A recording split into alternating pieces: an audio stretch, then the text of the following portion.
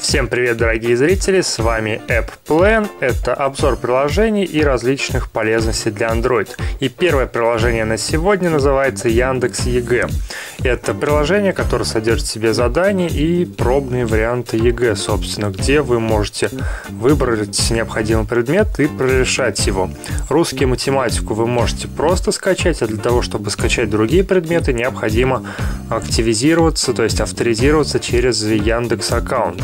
Ну, давайте запустим математику, я ее очень люблю, и посмотрим вообще, что за тесты ЕГЭ сейчас предлагаются нашим школьникам. Я еще их не смотрел, мне самому интересно.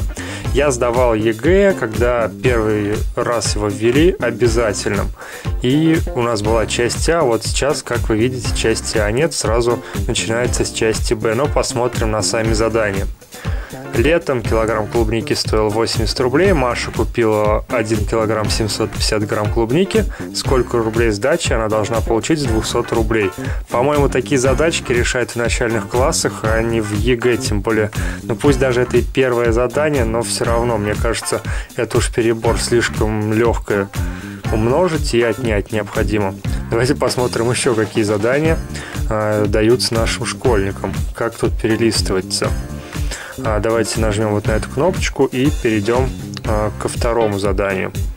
Дана диаграмма температуры средней за каждый месяц, и по диаграмме необходимо определить, сколько месяцев среднемесячная температура была выше нуля по-моему, просто посчитать столбики. Я не знаю, что за задания пошли, или такие сейчас э, все-таки так упал уровень образования, что такие вот легкие задания даются. Но вот это вот уже я вижу посложнее, но думаю, в принципе, его тоже можно решить, и никаких проблем оно не составит.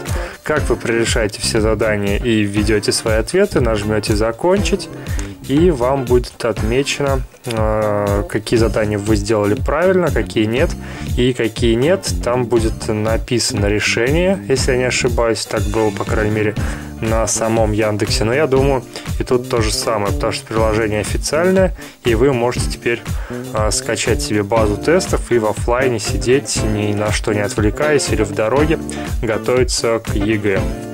Еще ни разу не делал вот э, такой зум во время съемки, но вот теперь я его использовал для того, чтобы рассказать вам и показать о виджетах, сделанных в стиле Google Now. Эти виджеты называются Clock Now, и у нас их имеется два вида, Clock Now и Clock Now Tagless. А, вот, собственно, они здесь оба использованы. Чем они отличаются?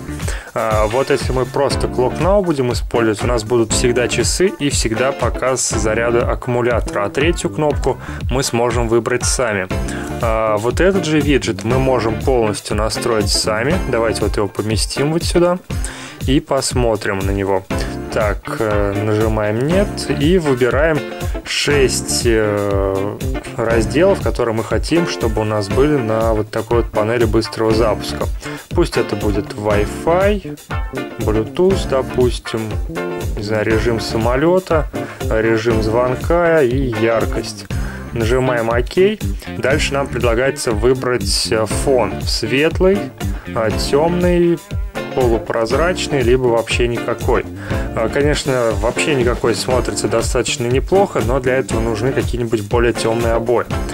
А, прозрачные вы сейчас видели у меня там использован, а светлый, давайте вот выберем светлый и посмотрим, как оно будет действовать. А, ну вот, собственно, у меня же так и было.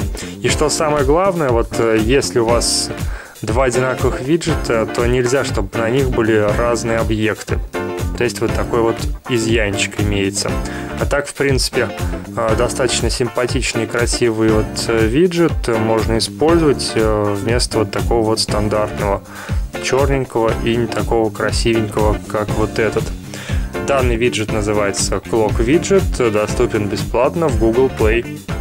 Следующее приложение называется Copy, и это клиент для облачного сервера. Причем после того, как вы зарегистрируетесь, вам сразу дается 15 гигов. И если вы еще будете приглашать друзей, там тоже по несколько гигов вам будет даваться. Кому это будет надо, разберетесь. Но, по-моему, 15 гигов облачного пространства сразу это достаточно много. Что это приложение умеет делать? Оно умеет загружать и хранить, собственно, ваши файлы. Есть функция, которая автоматически синхронизирует ваши фотоальбомы с этим облачным сервером, либо же можно а, сюда добавлять файлы вручную. Нажимаем «Загрузить», у нас сразу открывается встроенный файловый менеджер. Причем сначала галерея отображается вся ваша, но слайдом вправо можно перейти и выбрать любую папку и добавить ее к себе на сервер. Давайте добавим что-нибудь э, ну, из папки, допустим, Download, где она у меня, вот добавим что-нибудь не такое вот э, существенное, что быстренько загрузилось и долго не ждать. В принципе, загружается достаточно быстро. Не знаю, какая скорость, тут она не отображается во время загрузки.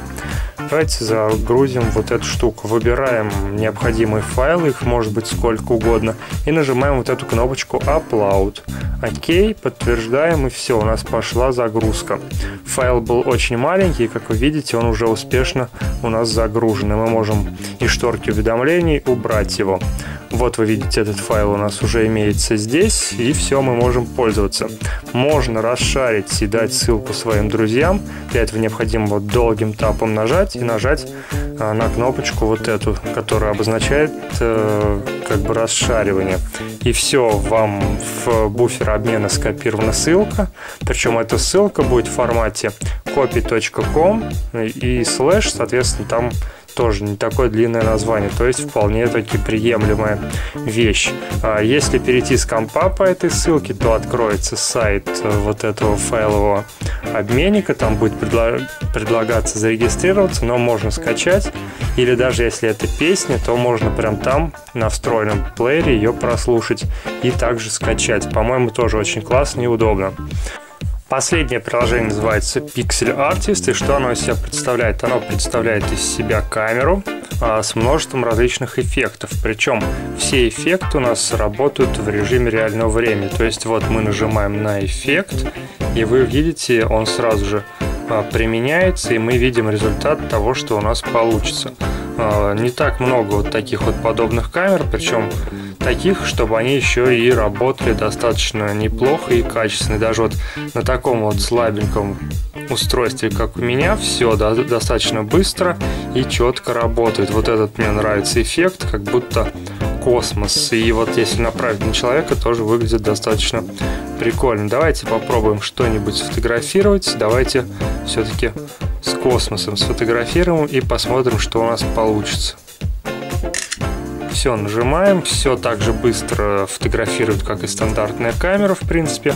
И мы получаем вот такой вот космический планшет, причем такой немного какой-то монохромный. В принципе, довольно неплохой вот такой вот э, фотоаппаратик, э, как альтернатива встроенному. Есть вот такой вот эффект, который искажает, и можно делать разные смешные рожи себе. В общем, наверное, на сегодня все. Вот э, что смог найти из новеньких, интересненьких программ сегодня для вас, все показал. Всем большое спасибо за внимание. Подписывайтесь на канал, ставьте лайки. Всем пока.